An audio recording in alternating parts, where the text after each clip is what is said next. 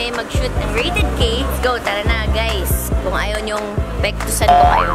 Kakatapos lang Rated K. Madam K. Anong rated?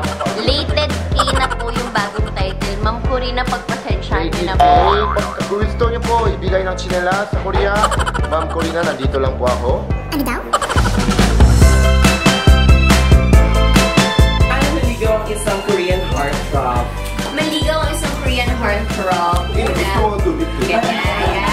Mga ganyan. Oh, yeah.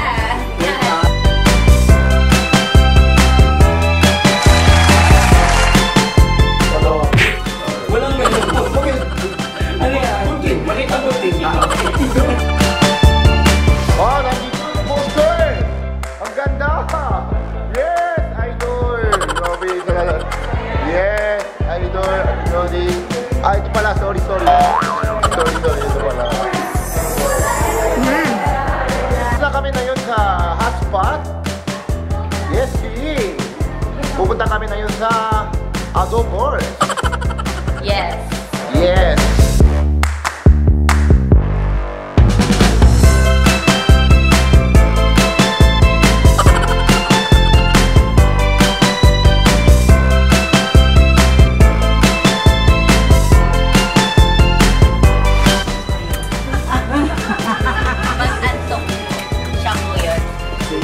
Po, ina. Bye-bye po. Na.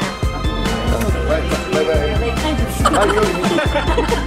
Sampalin mo kayo, sampalin mo. Ang nasampal talaga sa movie. Sabi ko, na. na-adlib siya.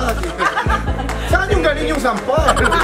Hi everybody! So nandito tayo ngayon sa recording ng big promo this Sunday sa ASAP. Kaya abangan nyo po yan. Ako muna kasi.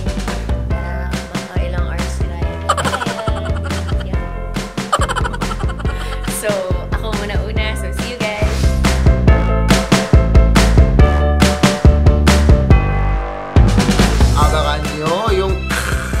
kanta namin, grabe, pati sayaw. Abangan nyo po. Magre-recording ako, start na ako ngayon kasi malamang umabot tayo 3 hours. Kasi mahirapan yung dila ko, mahirapan din yung bibig ko. 65 minutes ako 3 hours. Ah, are you ready guys?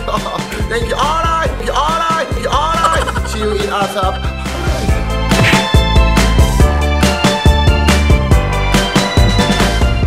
Nandito tayo sa bahay ko. Dito ako lumaki, dito ako umpisa, dito ako lahat. Dito. Pinihintay namin si Kim Chiu. Uh, mamaya pagdating niya, mag, ano, practice kami. Pero siyempre, bago siya, dancer kasi siya, ako hindi pa. Kaya, uh, ako muna mag-practice. Thank you.